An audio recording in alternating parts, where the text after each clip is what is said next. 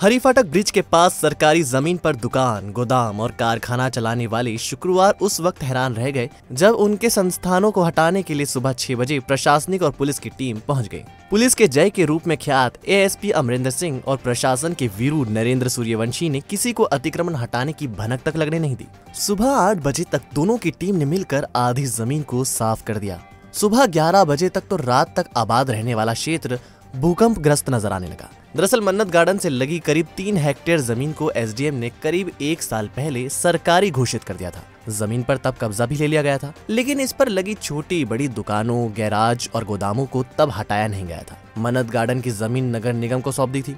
यहाँ अब निगम की कचरे की गाड़ियाँ खड़ी रहती हैं। शुक्रवार सुबह पूरे इलाके को सील कर प्रशासन एवं पुलिस की मौजूदगी में नगर निगम की टीम ने अतिक्रमण हटाने की शुरुआत की।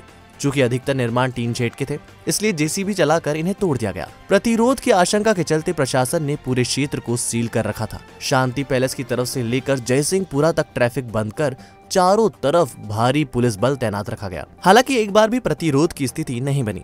ADM Narendra Suryavanshi ASP Amarinder Singh SDM Jagdish Mehra CSP Pallavi Shukla Vandana Chauhan तहसीलदार श्रीकांत शर्मा के साथ चार से ज़्यादा थानों का बल मौके पर मौजूद था। नगर निगम की ओर से सहायक आयुक्त सुबोध कुमार जैन मौजूद थे। हालाँकि इतनी बड़ी कार्रवाई होने के बावजूद नगर निगम की तरफ़ से कोई भी बड़ा अधिकारी मौजूद नहीं था। सुबह करीब आठ बजे निगम आयुक्त क्षितिज सिंघल पहुँचे और हाल लेकर रवाना हो गए। अपर आयुक्त या उपायुक्त तक मौके पर नहीं पहुँचे।